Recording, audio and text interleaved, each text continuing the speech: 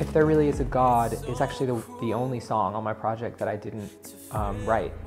As soon as I heard it, I felt like, oh, I have to do a version of this song for me. So unfair. I heard the song and immediately just fell in love with it.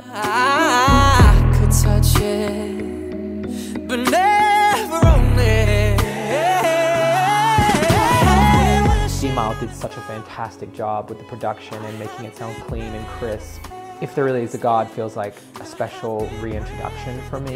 And there's the themes of loneliness and longing, wanting something to be more than it is, uh, which has been something that I think has been a theme that has carried through this project.